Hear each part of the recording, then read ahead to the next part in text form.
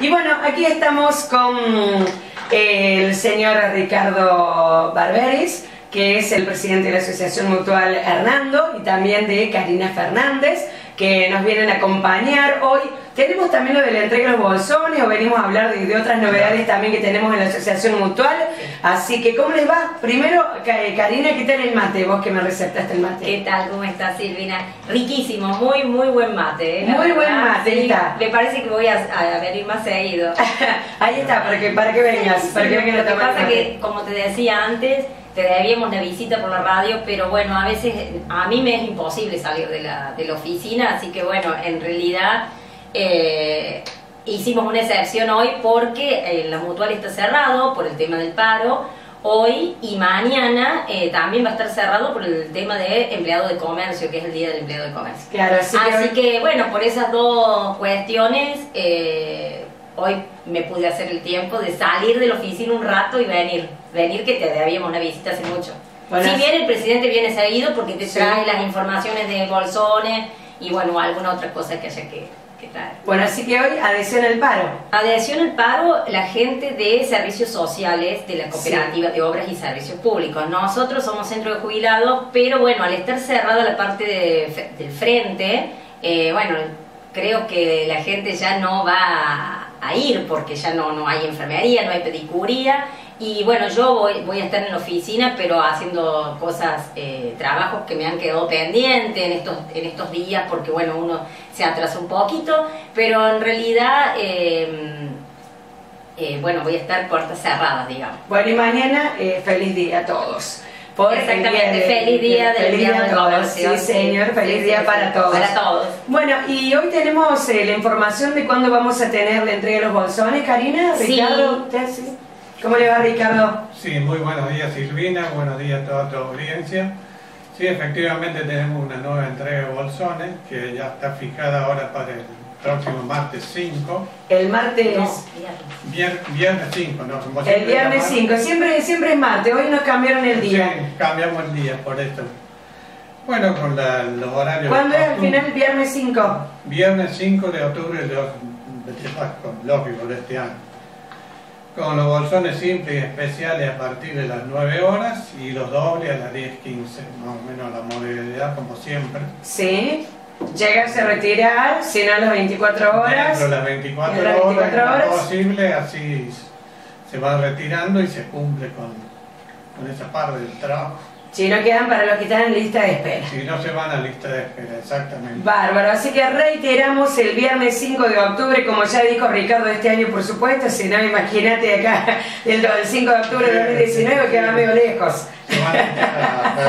Se echaba a perder toda la mercadería acá que No, y aparte eh, ya la gente está, está preguntando cuándo es la entrega, porque bueno, eh, últimamente los bolsones vienen eh, medios, medios escasos, digamos, chicos. ¿Ah, sí? Sí, sí, por, bueno, por una cuestión del tema de inflación y bueno, eh, creo que... ¿Se sigue destinando el mismo presupuesto para comprar las cosas? Ahora se ha aumentado un poquito más, pero no tanto. Esperemos que este próximo bolsón traiga algo más de mercadería, porque si no, eh, la gente, viste, por ahí es como que dice, uy, qué chiquito, pero bueno, eh, creo yo que se va a empezar a, a, entregarlo todos los meses, pero eso sería lo, eso sería lo ideal, porque no, no se llega con, me parece a mí, por la cantidad de mercadería, pero bueno es una ayuda y siempre hay gente que es muy agradecida, gente que va a la oficina y me dice, siempre es una ayuda, hay otros que, no tanto, por ahí quisieran más, pero bueno, esto viene del PAMI, nosotros no tenemos nada que ver, nosotros solamente ponemos las instalaciones para, la entrega, sí. Claro y ahí se está viendo qué va a pasar, porque han recibido alguna notificación de que se está evaluando de poder ampliarle un poquito a la mercadería. Sí, en realidad eh, la asistente social, a la cosa de dos meses atrás, hizo firmar unas hojas para él después mandar una nota cuando PAMI le autorice. Eh, y bueno, estamos esperando esa, esa nota para ya pedir una, un incremento para la mercadería, para que los bolsones sean medianamente un poquito más grandes. Eh, ¿Vos te acordás más o menos qué es lo que incluye el bolsón? Sí, em, arroz, fideos, eh, harina, eh, aceite un litro, excepto los dobles que siempre vienen un poquito más, o vienen dos litros de aceite, eh, y generalmente son dos paquetes de cada cosa. La mermelada, eh, azúcar, algunas conservas, pero bueno, han sacado lo que es yerba por el, por el costo, lo han, lo han, le han este, agregado el mate cocido en saquitos, pero bueno, por ahí la hierba se necesita porque se toma mucho mate. El, o sea, el argentino, el argentino es tomador de mate. Tal cual. Y los jubilados ni hablan. Viste que seguramente a tomar mate. Todo el mundo toma mate. Así que bueno, pero como te... Excepto Ricardo que no toma el mate, que no, sé si el mate mío o qué. No, no, El resto de la gente toma, no toma mate. Este no, no, no, porque le hace mal. Este pero no, tu mate está muy rico, la verdad, muy bueno. Eh, así que bueno, eso es eh, por ahora la información que tenemos de, de Bolsones, que será la entrega el próximo viernes 5 de octubre. Así que bueno, y pedirle por favor a la gente que siempre que trate de ir a la entrega de bolsones, porque ¿qué pasa? Después quedan, no es que sobren, quedan porque no los retiran. Entonces, eh, por ahí quedamos una semana con los bolsones para entregar, que viene uno, que, que, que si sobró, que si no sobró los titulares traten de ir a buscarlo, porque si no, eh, se va a llegar un momento que se va a empezar a decir, bueno, acá la tercera entrega que no lo vino a retirar, se le va a sacar. Claro, se van a sacar porque también desordena todo el trabajo del personal que está a cargo de eso, que no es lo único que hace. No, no, no. Sobre todo, eh, estamos, eh, yo personalmente tengo muy mucho trabajo en la oficina y tengo que dedicarle tiempo a la parte de bolsones porque eso es un padrón, hay que ver quién quién lo recibe, cuánta gente tenemos en lista de espera, hay cada vez más gente en lista de espera y también los que están en lista de espera se cansan de esperar su turno. Este, porque bueno... Eh, no se sabe si vienen o no vienen. Claro, el tema es que si no lo retira el titular, al otro día nosotros empezamos a darle la lista de espera y después si el, titular viene por alguna cuestión a, a, retirar el bolsón y su bolsón no está, es lamentable, pero esto ya está siendo avisado ya hace unos cuantos meses. Sí, hace mucho ya que venimos con, el, con, con esto que está aclarado hace muchísimo, Ricardo. Claro, hace muchísimo tiempo, pero sí, sí, sí. es como que no, no, no llevan la apunte, porque la mutual designa para ese día, ya tiene, bueno, ahora para el 5 nos preparamos para la entrega de bolsones, porque no es ese, ese momento, ese día que no llegan el día antes, hay que recibirlo, ordenarlo, que lo simple, que lo doble, tener todo preparadito para arrancar al día el siguiente. El padrón, claro, sí, sí, sí. Claro. Y entonces, ¿Qué cantidad de gente va? Más o menos. Más o menos unos 350 personas, una cosa así. O sea, son 300, más o menos 350 bolsones. Claro, vayan todos ese día, no. No, no, no, no, no, por la cantidad está. También yo soy muy de, decirle a la gente que cuando no puede ir a la entrega, que avise por teléfono, tienen mi teléfono, o, bueno, o se llegan a la mutual y me avisan que uno sabiendo, porque por ahí hay personas que te dicen, no, yo tengo justo un turno al médico me, o, tengo que ir por un viaje a, a X lugar. Entonces, bueno, uno le guarda el bolsón. En ese sentido, cuando nos avisan, le tenemos toda la, paciencia y, decir, bueno, sí, lo guardamos, no hay ningún problema. Creo que somos bastante abiertos y, yo sobre todo que estoy en la oficina para escuchar. Comprensivos. Comprensivos, casi terapia. Sí, sí, hacemos un poco de terapia también. Bueno, Karina, preguntar en cuanto a la Asociación Mutual Hernando, ¿están realizando otro tipo de, de actividades, ofreciendo también servicios también para los jubilados, pensionados y demás. Sí, en realidad eh, estamos con los talleres eh, que vienen desde la provincia de Córdoba, desde el Ministerio de Desarrollo este año. Eh, los talleres arrancaron desde la caja de jubilaciones de la provincia, desde el espacio Ilia. Y bueno, por una cuestión, no, sabemos cuál fue el motivo, el año pasado, a fin de año, nos avisaron desde espacio Ilia que ya se cortaban los talleres para el interior desde esa institución. Entonces pasamos al eh, Ministerio de Desarrollo de la provincia. Bueno, ahora empezaron a normalizar un poquito los pagos también porque venían un poco atrasados. Así que, pero nosotros eh, desde la mutual se está, se está tratando de cumplir con las talleristas. Así que, bueno, dentro de lo que se puede, eh, lo estamos manteniendo más o menos al día. ¿Qué talleres tienen? Gimnasia, ritmos latinos, computación, em, memoria, folclore y teníamos teatro, pero lamentablemente este año no sé qué fue lo que pasó, que empezaron a, ir cada vez menos personas, así que bueno, vamos a, en los próximos meses vamos a tener, vamos a, no lo vamos a dar, se da de baja teatro, pero sí vamos a, suplantarlo por em, manualidades. Bárbaro, perfecto. Miren, acá yo recién estaba haciendo la nota al doctor Ricardo Bianchini y hablaba del Alzheimer y una manera de prevenirlo es estando activo, ejercitar la mente, estar ocupado, tener cosas en qué pensar, porque viene después de la época de que la persona se jubila y que ya está como muy desactivado. hacer cosas o, tener algo que hacer, o en la casa o fuera de la casa, y acá la asociación tiene un abanico de posibilidades también para, para estar entretenido y que la, cabeza esté activa. Sí, señor, ¿o no? ¿Qué quiere decir, eh, Ricardo? tiene todas las facilidades y las posibilidades de ir a los talleres de memoria u otro taller que todos sirven para mantenerse en movimiento y pensando, tal día tengo eso, el cerebro está un poquito más ocupado, no estar como, no va en la casa, bueno, ya está, pero no, ¿eh?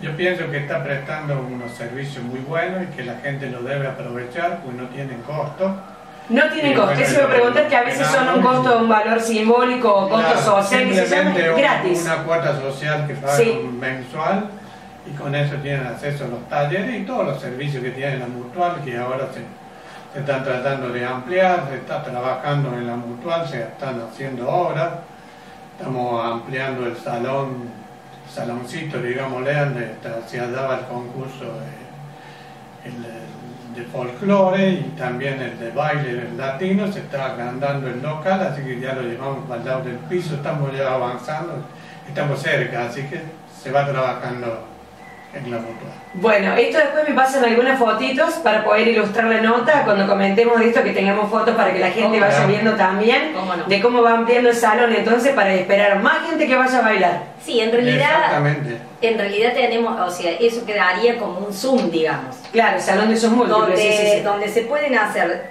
las distintas actividades de talleres de movimiento, como bien dijo el presidente, eh, folclore, ritmo latino y gimnasia.